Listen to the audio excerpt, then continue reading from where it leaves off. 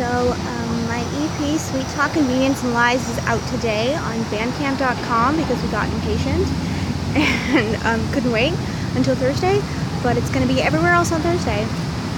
But it's out now if you really want it. Um, the physical copies are still just sitting in the warehouse. We don't know.